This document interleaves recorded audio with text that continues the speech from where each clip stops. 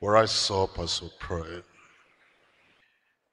Almighty God, we thank you for who you are to us, our Father, and the Father of our Lord Jesus Christ, the lover of our souls.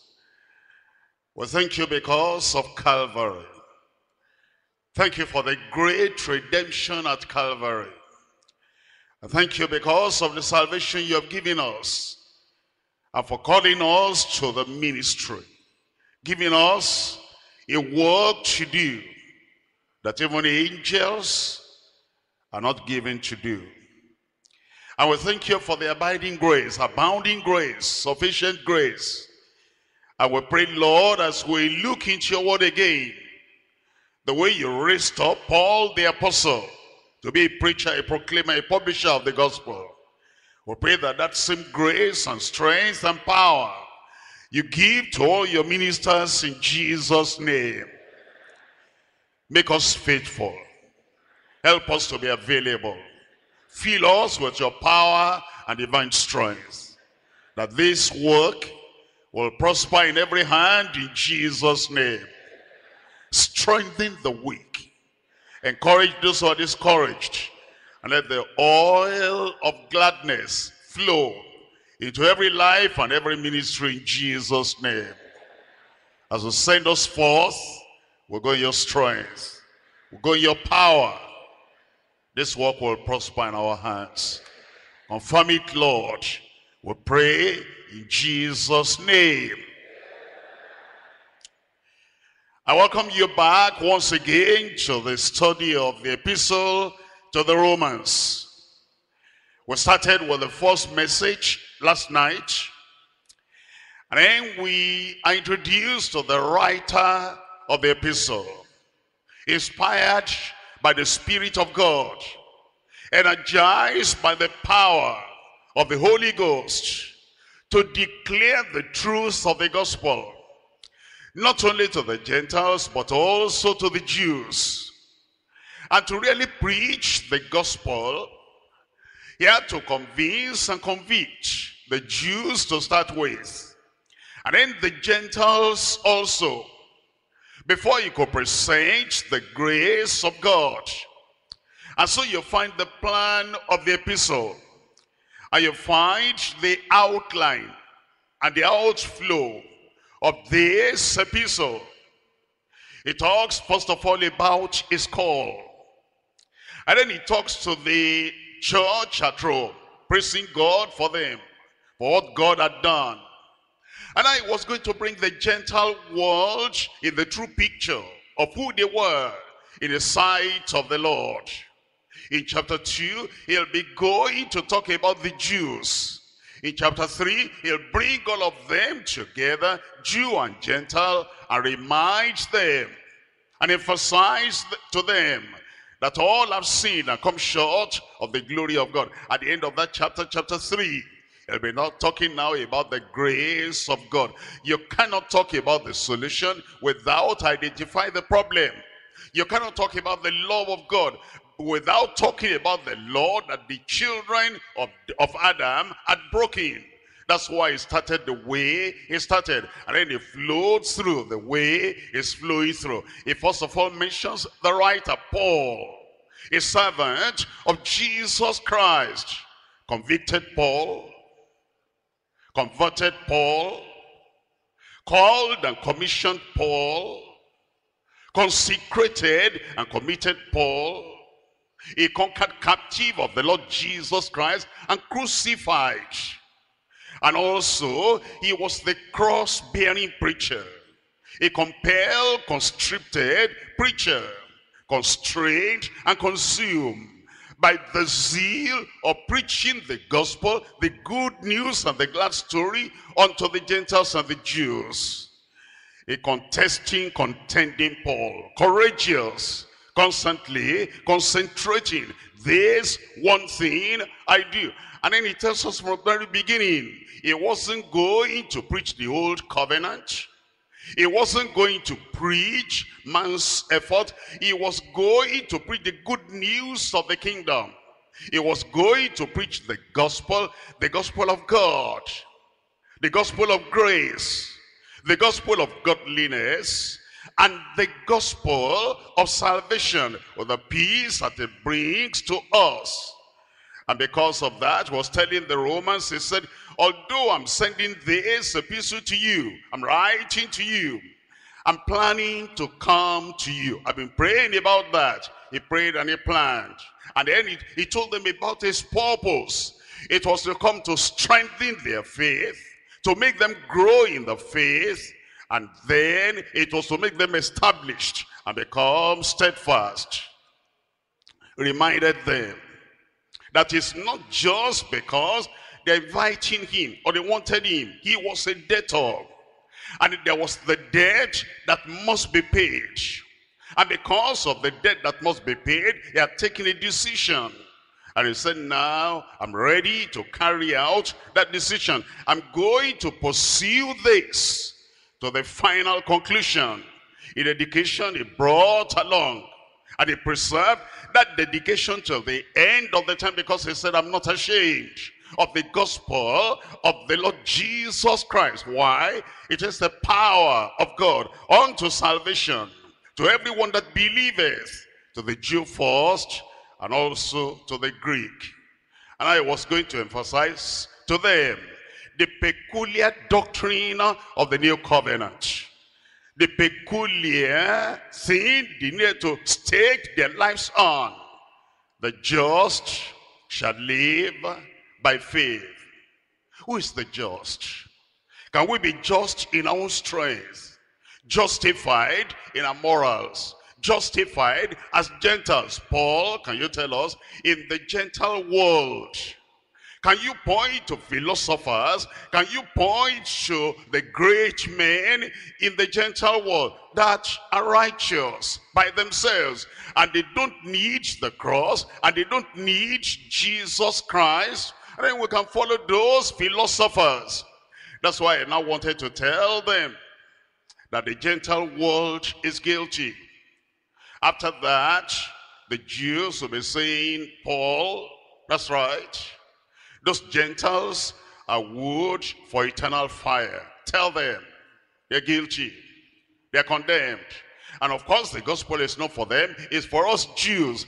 And then he'll not bring the gospel to the Jews, but he'll tell them first, you're guilty also, you're without excuse. That leads us to what we're looking at today. We're looking at Romans chapter 1 verse 18. It says, for the wrath of God is revealed from heaven against all ungodliness and unrighteousness of men who hold the truth in righteousness. Then he goes on, and then in verse 32, who knowing the judgment of God, that they which commit such things are worthy of death, not only do the same, but have pleasure in them that do them.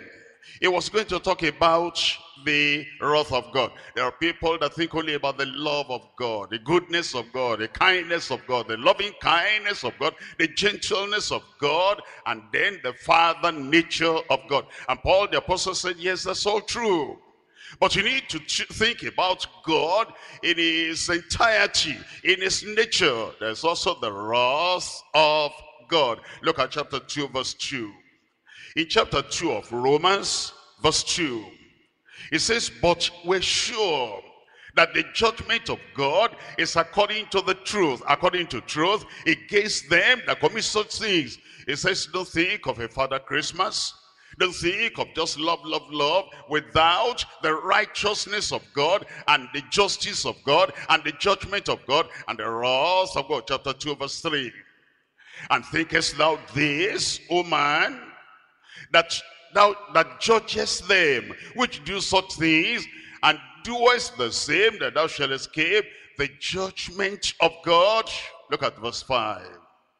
But after thine hardness, an impenitent heart treasures up unto thyself wrath against the day of wrath and revelation of the righteous judgment of God. He assured them there is the judgment of God, there is the wrath of God. Look at chapter 11, verse 22. Romans chapter 11, Reading from verse 22. It tells us in verse 22, Behold, therefore, the goodness of God on the one hand, and the severity of God on the other hand. Unto them which fell severity, but toward thee goodness, if thou continue in his goodness, otherwise thou shalt be cut off. That's why, as we look at the remaining part of chapter 1, we're talking about escaping God's wrath. And there's only one way of escape. The way made by Christ through his death on the cross of Calvary. And there's only one way we get to that way, and it is by faith, escaping God's wrath through faith. First of all, it tells us about revelation. Secondly, it talks about rebellion. And number three, it talks about redemption. As we look at that uh, remaining part of chapter 1, verses 18 to 32, three things to consider. Number one, the revelation of the wrath of God. The revelation of the wrath of God. Number two, the reprobates under the wrath of God reprobates under the wrath of God. Number three, the redemption from the wrath of God. Number one, the revelation of the wrath of God. Romans chapter 1 verse 18. For the wrath of God is revealed from heaven against all ungodliness and unrighteousness of men he tells us about the revelation of the wrath of God. And he says the, the wrath of God, the judgment of God, the anger of God, the indignation of God, the punishment against sin is revealed. It's not revealed by philosophers. It's not revealed by moral men. It's not revealed by the governments of the world. It's not revealed by anything we see down here. It is revealed from heaven. And it's against all ungodliness and all unrighteousness of men. And then as we begin to think, what does that mean? The unrighteousness of men, the ungodliness of men. He now tells us how to understand what it means when we talk about the ungodliness of men, the unrighteousness of men. Number one, look at verse 18. Who hold the truth in righteousness. It says there are people who know the truth theoretically, who know the truth in their mind, who can affirm the truth in their speech because they hold the truth. But now it says their character does not support the truth they hold. Their behavior does not support the truth they hold. It says, morally, you cannot tell that they hold the truth. Mentally, they do. Morally, they don't. Why? They don't have the love for the truth they hold. In Second Thessalonians chapter 2, verse 10. Second Thessalonians chapter 2, verse 10. And with all deceivableness of unrighteousness in them that perish, because they received not the love for the truth that they might be saved. They know the truth, they don't love it. They know the truth, they don't decide to follow through. They know the truth, but don't decide to live by They know the truth. They don't decide to have the power, the grace, the strength to fulfill and to live in that truth. They do something to their conscience. We're looking at First Timothy chapter 4. Reading from verses 1 and 2. First Timothy chapter 4 verses 1 and 2. Now the Spirit speaketh expressly that in the latter time some shall depart from the faith, giving heed to seducing spirits and doctrines of devils. Listen to this, speaking lies and hypocrisy, having their conscience seared with a hot iron. They know the truth, they hold it in unrighteousness. It says, those are the people, and the wrath of God is revealed against them Let's come back to Romans chapter 1 I we're looking at uh, verse 19 and verse 20. Because that which may be known of God is manifest in them. For God has showed it to them. Whether they're Gentiles or Jews, in their mind, in their hearts, he has revealed the truth unto them. Gentiles get married. How did they get married? Because it's in their heart. God put that institution in their hearts. It's not good for a man to be alone. They may not be Jew, they may not be Jewish, but then they know marriage is good. And Gentiles, when they get married, they promise and they expect faithfulness one to another. How? Because it's in their heart. I love you, you love me, you are faithful to me, I'll be faithful to you. Uh, Gentiles, they establish business.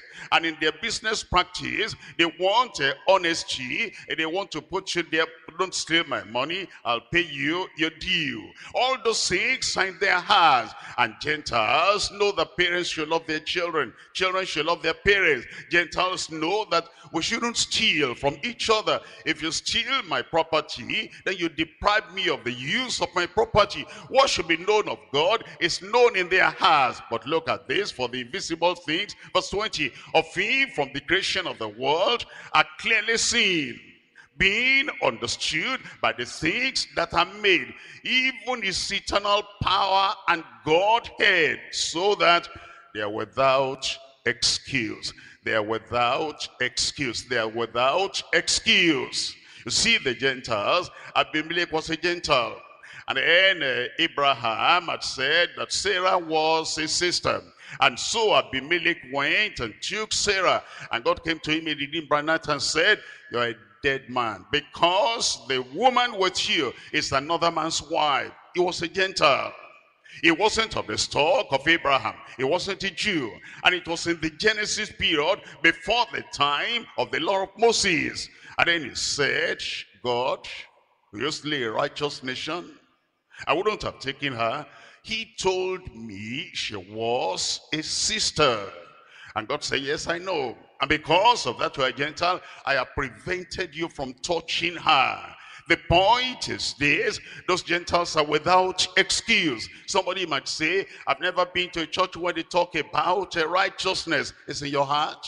Somebody might say, I've never been to a church where they talk, where they say that killing another person is wrong. It's in your heart. You want someone to kill your wife or kill your husband or kill your children. And because you want not one that is written in the heart, and so they are without excuse. It also tells us, look at verse 21 is describing the ungodliness of man, the righteousness of man. Because that when they knew God, they glorified him not as God. They knew God. How did they know God? They knew God as creator. But they didn't look up to him and praise him as creator. You didn't create your child. You gave back to your child. You expected love and honor and uh, faithfulness from your child. You know that God created you. They knew him as creator. And yet they didn't, oh, they didn't honor him as creator. They knew him as eternal, eternal, wiser than men that are just living now. They knew him as eternal. They didn't go to him to ask for the knowledge that will make them live as they ought to live. They knew him as almighty, almighty. All those unbelievers, all those Gentiles, they knew God as the almighty. But then they didn't respond to him as the almighty. They knew him as king. He's the king of kings and the lord of lords. They knew that he's the ruler, the governor, the king over this world and they were not uh, subjected to him as subjects are given unto their king. They knew him as judge. In their own locality, although they were Gentiles, they had prisons. Didn't you see the prisons where they put Paul the apostle?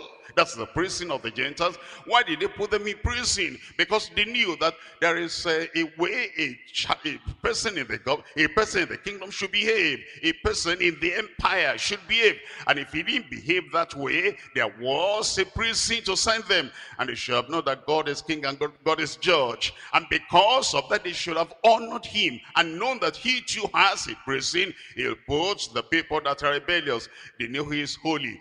That's, that's everybody knows knows that God is holy, God is righteous, and God cannot do evil. And they should have known that holiness only is what will please the Lord. They knew him as the most high, but they didn't honor him, reverence him, fear him as the most high. They didn't glorify him accordingly. Look at that verse 21 again. It says in verse 21, because that when the new God, they glorified him not as God, neither was thankful, but became vain in their imaginations and their foolish heart was darkened. That's why they're ungodly. And it says, the wrath of God is revealed from heaven against all ungodliness and all unrighteousness. They profess wisdom in folly they profess wisdom in folly. Look at verse 22. It says in verse 22, professing themselves to be wise, they became fools. Professing themselves to be wise, they became fools. And they changed the glory of the uncorruptible God into an image made like corruptible man to birds and uh, four-footed beasts and creeping things. Understand that? Uh, when uh, little children begin to go to school and the little children are told to draw, then they draw a picture of daddy or they draw a picture of mommy and then uh, the teacher says, go and show daddy at home, go and show mommy at home. And then the child comes back and say, daddy, look at your picture. And daddy looks at that and laughs because uh, there's no resemblance at all between that picture and the father. And this is what the Gentiles have done. They, they know there's God. He's mighty. He's holy. He's the most high. He's the king is the judge. He's eternal. And then they draw a caricature something like a bird and they say that's God. Four-footed beasts and they say that's God. The things, the creation of their own mind and the creation of the of, of uh, the earth here, they put that as God. How can the creature represent the creator like that? And so in their wisdom, they became fools. First Corinthians chapter 3. In First Corinthians chapter 3, we're looking at verse 19. First Corinthians chapter 3, and we're reading from verse 19. For the wisdom of this world is foolishness with God. The wisdom of this world is foolishness with God. For it is written, He taketh the wise in their own craftiness. Romans chapter 1. Ungodly, unrighteous, they had unclean habits. They dishonored their own bodies between themselves. Verse 24, chapter 1, verse 24, wherefore it says, God gave them up to uncleanness through the laws of their own hearts and to dishonor their own bodies between themselves they begin to do some unprintable things, unimaginable things in abomination and uncleanness with their bodies, men and men and women and women, and men and women and women and men. And they changed the truth of God into a lie. We're looking at verse 25. Who changed the truth of God into a lie and worshipped and served the creature more than the creator who is blessed forever. Amen. It says uh, these uh, Gentiles, what they did was to change the truth of God. The truth of God, they colored that. They mutilated that. They changed that. They turned it upside down. And eventually became a lie. We're looking at uh, Jeremiah chapter 13. Jeremiah chapter 13. What the Gentiles did, and what Jews eventually did, and what people of the land, what they have done, changing the truth of God into a lie. Jeremiah chapter 13, reading from verse 25. Chapter 13, verse 25.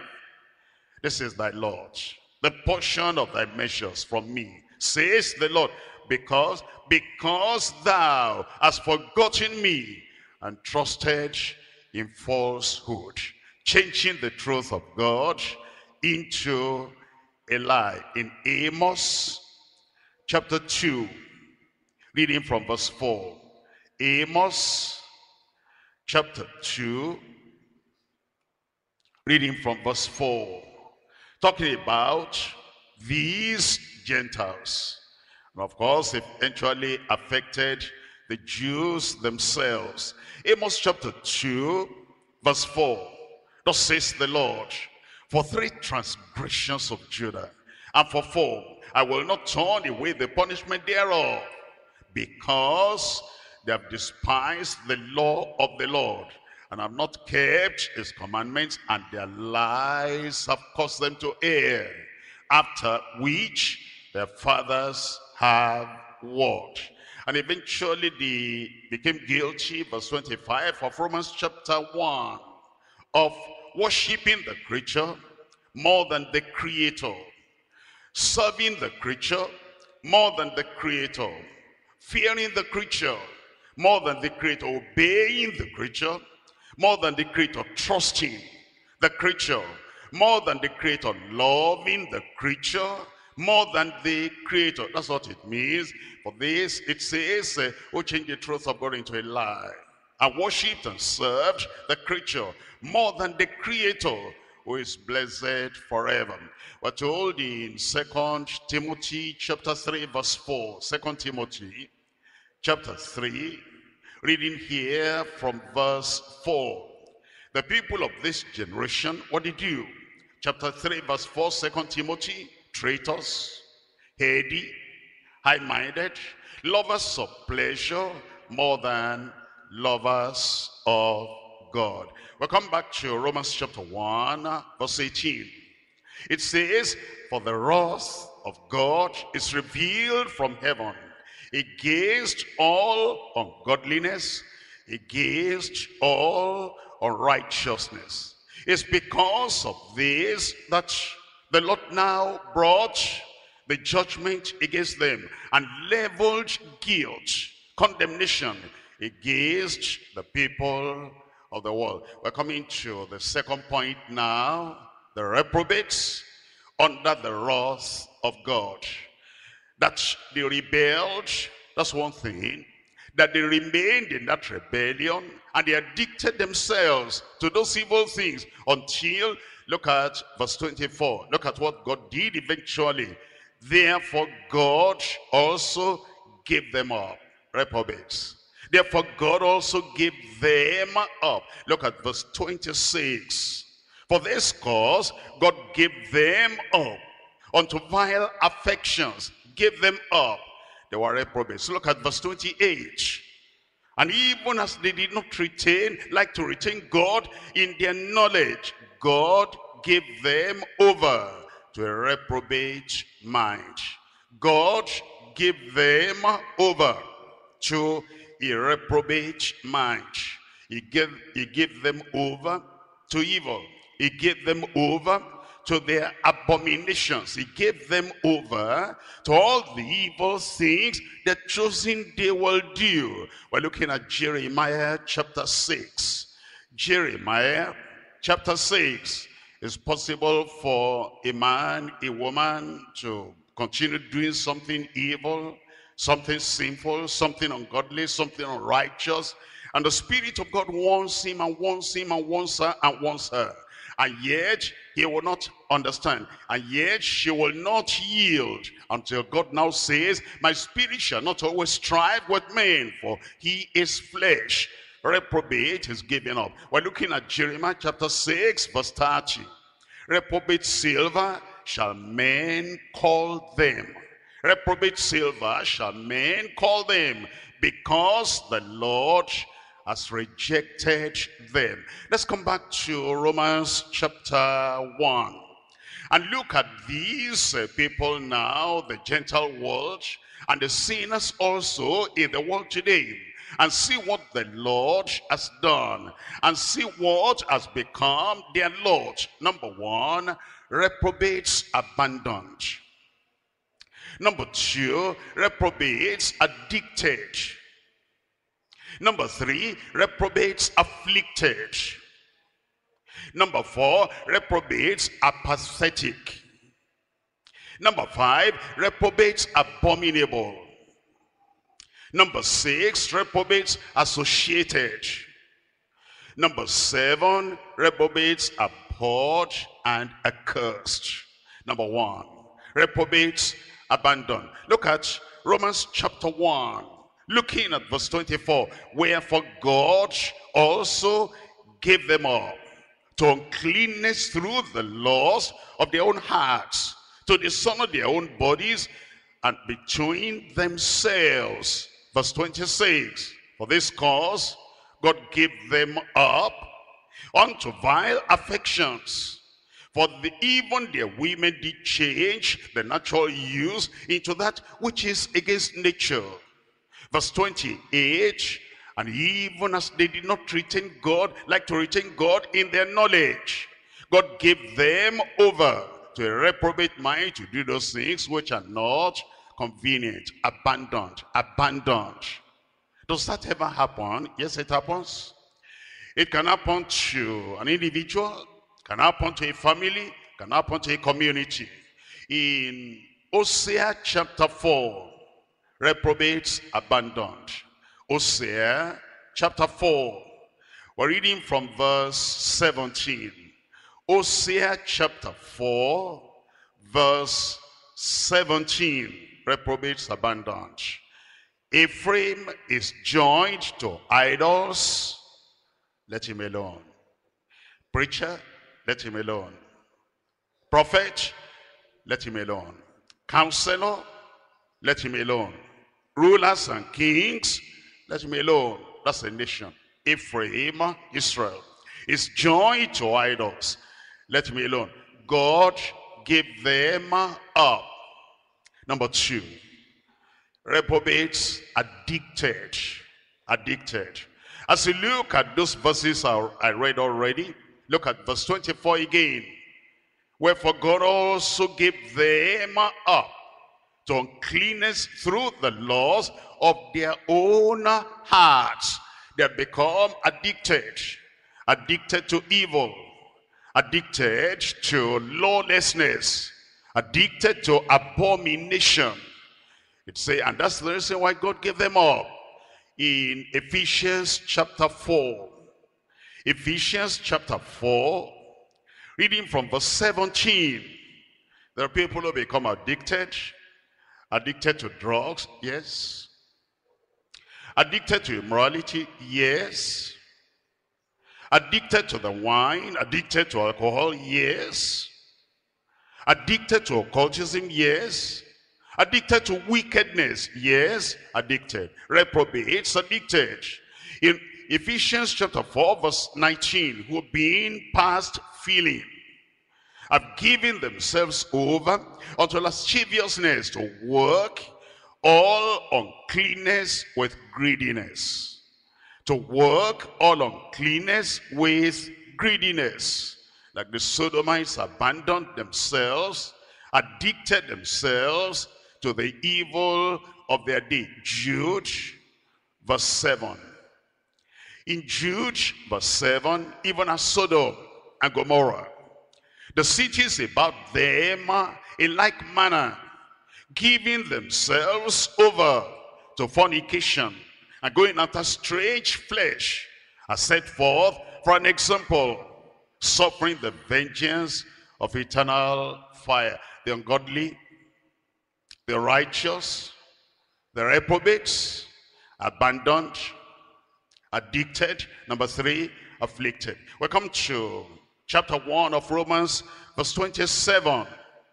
The latter part in particular, but let's see it from the first part.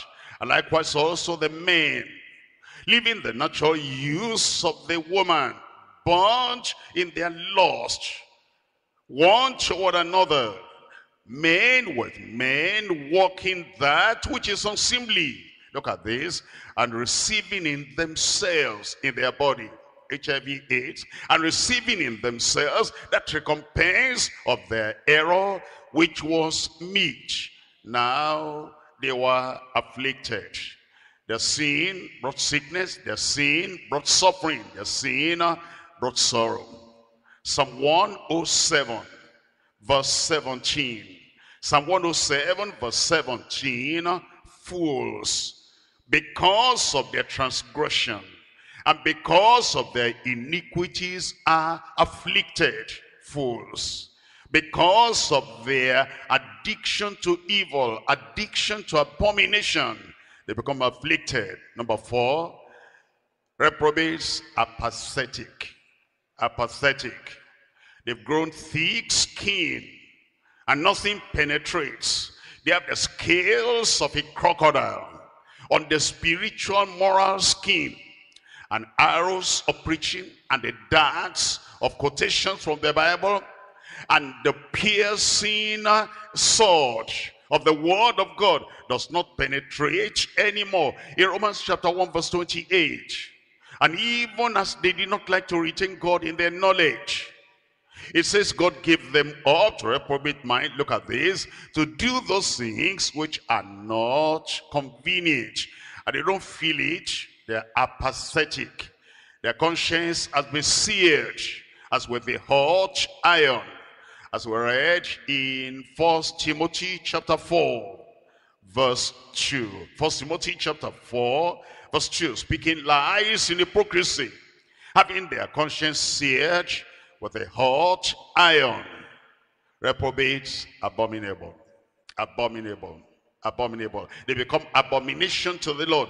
In Romans chapter 1, reading from verse 29, being filled with all righteousness, filled with all unrighteousness, filled to the brim. You look at their lives, and all you can see, fornication, wickedness, covetousness, maliciousness, full of envy, murder, debate. They'll argue it to the last point. Why? Nobody can be free from all those abominations. Deceit, malignity, whisperers, backbiters, haters of God, despiteful, proud, boasters, inventors of evil things. Even if a kind of sin had not been, uh, you know, in town, they invent it. If a new invention comes, like the internet, they'll think through on how to project internet crime. And they're always thinking, always bringing up one form of evil or the, or the other. Disobedient to parents without understanding, covenant breakers, without natural affection, implacable or merciful. It says they become abominable. They become abominable. It tells us in Revelation chapter 21. Revelation chapter 21, reading from verse 8. Revelation 21, verse 8. It says, For the fearful, unbelieving, and the abominable, and the murderers, whoremongers, and sorcerers, and the idolaters, and all liars shall have their part in the lake which burneth with fire and brimstone, which is the second death. I pray God will set us free. Thank God we're free. Somebody there says, thank God you are free. Number six, reprobates associated. You think that reprobates will not have any association, but they have to have association to encourage each other to nail each other into that thing. And to make them keep in that addiction they are associated. Look at romans chapter 1 verse 32 who knowing the judgment of god that they which commit such things are worthy of death not only do the same but have pleasure they encourage they lift up and, and they even teach others have pleasure in them that do them. Number seven reprobates abhorred and reprobates accursed who knowing the judgment of God, that they which commit such things are not worthy, are not only worthy of death, but they also have pleasure in them that do them. We're looking at Psalm 78. Psalm 78. And here we're reading from verses 59 uh, to 62. Psalm 78, reading from verse 59. In verse 59, it says, When God had this, he was wroth and greatly abhorred Israel, so that he forsook the tabernacle of Shiloh and the tent which he placed among them, and delivered his strength into captivity and his glory into the enemy's hand. He gave his people over also unto the sword, and was wroth in it with his inheritance. Psalm 106. In Psalm 106, verse 39 uh, and verse 40. Thus they were defiled with their own works, these reprobates, and went warring with their own inventions. Therefore was the wrath of the Lord kindled against his people, in so much that he abhorred his own inheritance. Psalm 9, verse 17. Psalm 9, verse 17. It says, the wicked shall be turned into hell, and all the nations that forget God. Any way out? Yes, the way of redemption. We come to point number three. In Romans chapter 1, verse 7. Romans chapter 1, verse 17 rather. For therein is the righteousness of God revealed from faith to faith. As it is written, the just shall live by faith. As it is written, everybody is unjust. The Gentile world addicted to evil. The Gentile world abandoned in their evil. The Gentile world afflicted for their evil. The Gentile world apathetic abominable, associated, abhorred, and accursed. But there's still a way out of that wrath of God. And it is the way of faith. It is the way of faith. Habakkuk had already signaled that many years before. And I told them, if you are going to escape the judgment of God, there's only one way, and it is by faith. The Jews had that. They didn't take note. The Gentiles should have heard. Habakkuk chapter 2, verse 4. Behold, his soul which is lifted up, which is lifted up, is not upright in him. The people who take pride in their morality. The people who take pride in their religion. The people who take pride in the works of their hand. Look at what I am. Look at what I am. And yet they're reprobates. It says they're so lifted up in them. It's not right. It's not upright. But the just shall live by his faith. That's the way of escape. And eventually Christ came. He made that way clear. That believing on him for the work of redemption he will do because it's the only way out of sin out of damnation out of perdition out of eternal judgment. Believing in him will get us out of the wrath. John chapter 3 verse 18 john chapter 3 verse 18 he that believeth on him is not condemned but he that believeth not is condemned already because he has not believed in the name of the only begotten Son of God. Verse 36, he that believeth on the Son has everlasting life.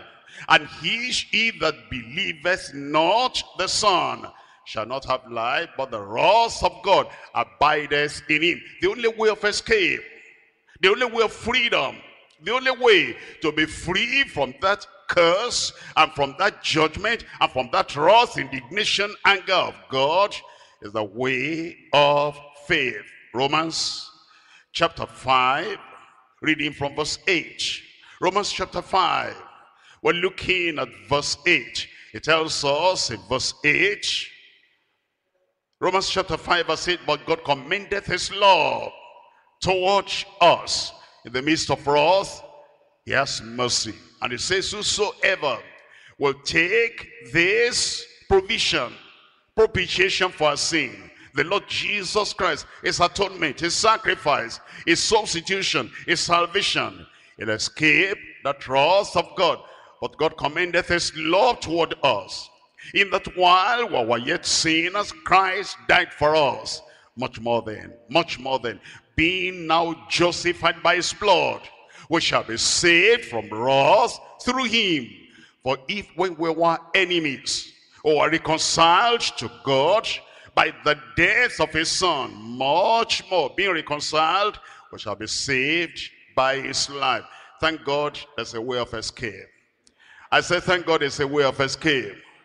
And that's how you have escaped, believing on the Lord Jesus Christ, forgiving your sin, turning you away from iniquity, separating you from the Gentile world, and separating you from the judgment, the wrath, the indignation, the anger that comes upon the unbeliever. And now he has given you the message, you're free, Go set other people free. You know the way of truth? Go tell the truth, the gospel truth unto all the people. In Ephesians chapter 2 verse 3. Ephesians chapter 2. Reading from verse 3. Among whom also we all had a conversation in times past. In the lust of our flesh. Fulfilling the desires of the flesh and of the mind. And we were by nature the children of wrath, even as others. We were by nature children of wrath, even as others. How did we escape? Verse 4. But God, who is rich in mercy, and for his great love wherewith he loved us, even when we're dead in sins, had quickened us together with Christ. By grace are you saved. Verse 8, by grace are you saved through faith. And that not of yourselves, it is the gift of God. Now he tells us, now that we're saved, our lives need to turn around.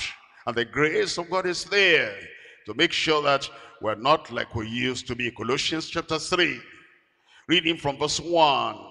If ye then be risen with Christ, seek those things which are above, where Christ sitteth on the right hand of God. Set your affection on things above, not on things on the earth, for ye are dead, and your life is hid with Christ in God. When Christ, who is our life, shall appear, then shall ye also appear with him in glory. That will be fulfilled in your life in Jesus' name. What steps will the sinner take? What steps have we taken?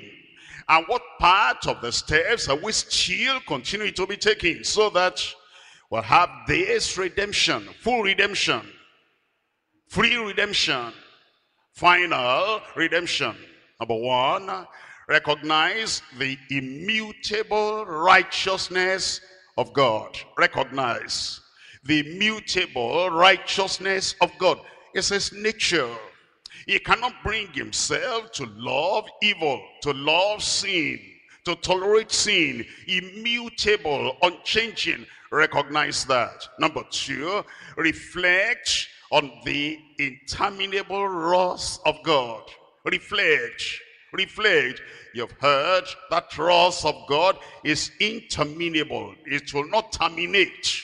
It's unending. Reflect on that. Think on that as uh, you see the people of the world and as you see them going from sin to sin, iniquity to iniquity, abomination to abomination, reflect on the interminable wrath of God and do something about it. Lead them to repentance and you yourself, if there is any kind of unrighteousness there, number three, repent of your insensible rebellion against God.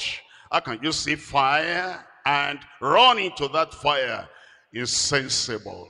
How can you see a pit and run into that pit and break your bones and die and perish? Insensible. And then look at your friends and look at your neighbors and they're rushing on and they're by the edge of the cliff and they can get in there anytime and perish. Flee. Flee. Flee.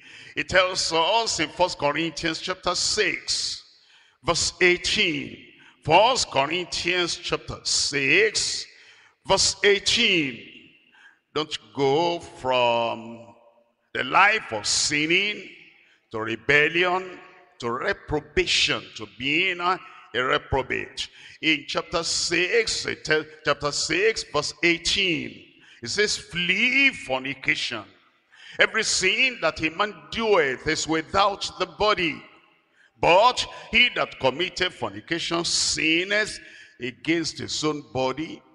against his own soul, against his own destiny, against his own goodness. He that committed fornication sinneth against his soul. Chapter 10, verse 14, flee. Chapter 10, verse 14, wherefore, my dearly beloved, flee from idolatry. Flee. Second Timothy, chapter 2, verse 22. Second Timothy, chapter 2, verse 22. It tells us to flee. It says in verse 22, flee also youthful lust and follow righteousness, faith, charity, peace with them that call on the Lord out of a pure heart. First Timothy chapter 6, verse 11. First Timothy 6, 11. But thou, man of God, after you even become a minister, man of God, and thou, woman of God, after you become a great leader in the ministry, but thou, man of God, woman of God, flee these things and follow after righteousness, godliness, faith, love, patience, meekness. Number one, recognize the mutable righteousness of God. Number two, reflect on the interminable wrath of God. Number three, repent of your insensible rebellion against God. Number four, reckon on the immense riches of his grace. His grace that reaches far, far to everyone. Reckon on that. Whatever you have done, wherever you have been, come plunge in the blood of the Lamb. Have faith in his sacrifice. Faith in his substitution. Faith in his sufficiency. Now, number five, receive the imputed righteousness of God. Receive the imputed righteousness of God. You have no righteousness of your own to start with. And then you come to him. And as you come to him, you believe. And he imputes his righteousness unto you. Because we're told in Romans chapter 4 verse 3 Romans chapter 4 verse 3, for what says the scripture? Abraham believed God and it was counted unto him, imputed unto him for righteousness. Imputed unto him for righteousness. Receive the imputed righteousness of God. In Psalm 32, reading from verse 1, Blessed is he whose transgression is forgiven, whose sin is covered. Blessed is the man unto whom the Lord imputeth not iniquity. In whose spirit there is no guile. Number six, renew irreproachable righteousness toward God. You come back to Calvary. He cleanses you. He purges you. He washes you and you renew irreproachable righteousness, saying, now that I'm cleansed, now that I'm forgiven, I'm going to move on in a kind of righteousness that even the heavens cannot reproach. Renew irreproachable righteousness toward God. Number seven, rescue impenitent rebels for God. They're rebelling. And the Lord is sending you out, sending me out, sending us out to go and rescue them before they perish. They were impenitent. Assure them, if they will repent and believe, he will forgive. Rescue the perishing. Care for the dying. Have mercy on them. Tell them Christ has died. And if they will come, he will receive them. Rescue the impenitent rebels for God. The Lord is calling us to the path of faith. Faith in Christ for salvation. Faith in Christ for grace. Faith in Christ for sanctification. Faith in Christ for righteousness. Faith in Christ for strength, for ability to do all that has called us to do. is calling us from one level of gray of faith to another higher level of faith. For therein is the righteousness of God revealed from faith to faith. As it is written, the just shall live by faith. The justified shall live by faith. The regenerate shall live by faith. The sanctified shall live by faith. The servant of God shall live by faith. The called and commissioned shall live by faith. All we need to live the life of faith is available. It says, come and receive. Let's rise up and talk to the Lord in prayer. Come and receive. Come and receive. Recognize God's immutable righteousness. Reflect on God's interminable wrath. Repent of your insensible rebellion. Recognize and reckon on the immense riches of his grace. Receive the imputed righteousness of God. Renew your commitment. Renew your consecration. Renew your absolute surrender. Renew that irreproachable righteousness to God and commit yourself to rescuing the perishing. Open your mouth and talk to the Lord in prayer.